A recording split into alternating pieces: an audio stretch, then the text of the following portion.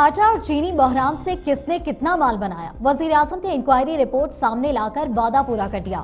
Report میں شریف group کی بدماشی بے نقاب ہو گئی۔ رپورٹ کی فورنسک آڈٹ کے لیے پچیس اپریل کی ڈیڈ لائن دی گئی ہے۔ ماضی میں رپورٹس منظر عام پر نہیں آتی تھی۔ ذخیرہ اندوزوں اور منافع خوروں پر کڑی نظر رکھی جائے۔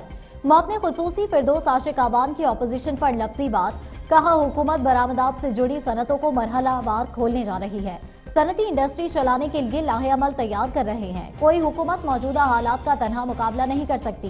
پوری دنیا کی معیشت تباہ حالی کا شکار ہے۔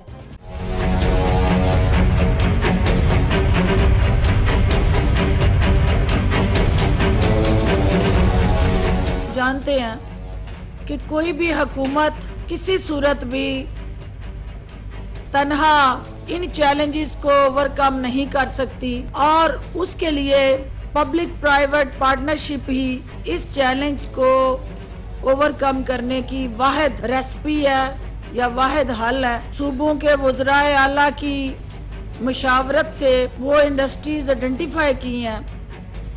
ان کو چلانے کے لیے ایک لائے عمل ہم طے کرنے جا رہے ہیں۔ پوری دنیا کی معاشی صورتحال اور معیشت جو ہے وہ تباہ حالی کا شکار ہے۔ منافع خوری اور زہیرہ اندوزی کے ذریعے عوام کو تکلیف دینے والے عناصر جو ہیں، ان پہ کڑی نظر رکھی جائے۔ تو آٹے اور چینے کی جو انکوائری رپورٹ ہے، اس کو پبلک کر کے منظر عام پہ لا کے وزیر اعظم پاکستان نے اپنے وعدے کی تکمیل کی ہے۔ شریف گروپ نے جو بدماشی کی، اس رپورٹ میں وہ بے نقاب ہو گئی ہے۔